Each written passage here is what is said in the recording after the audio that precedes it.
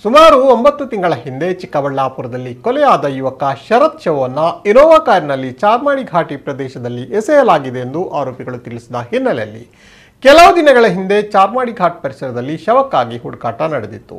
ಇದೀಗ Bengaluru Cubbon park ACP Rajendra ನೇತೃತ್ವದಲ್ಲಿ ಶವ ಪತ್ತೆ ಹಚ್ಚುವ ಕಾರ್ಯಾಚರಣೆಯನ್ನು ಸ್ಥಗಿತಗೊಳಿಸಿ ಬೆಂಗಳೂರಿಗೆ ವಾಪಸ್ಸಾಗಿದ್ದ ಪೊಲೀಸರು ಸೋಮವಾರದಂದು ಇಬ್ಬರು ಪ್ರಮುಖ ಆರೋಪಿಗಳನ್ನು ಬೆಂಗಳೂರು ನ್ಯಾಯಾಲಯಕ್ಕೆ ಹಾಜರುಪಡಿಸಿದ್ದಾರೆ.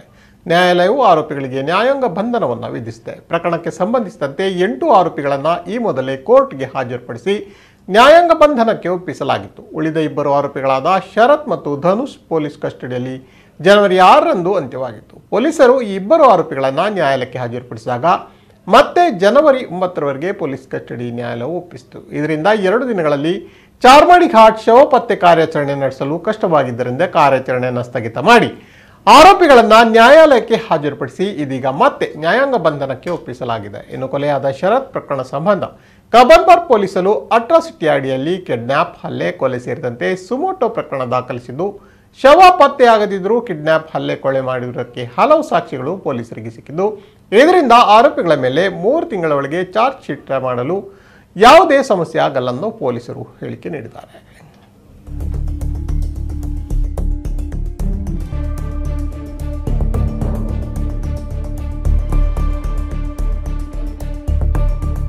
Bye.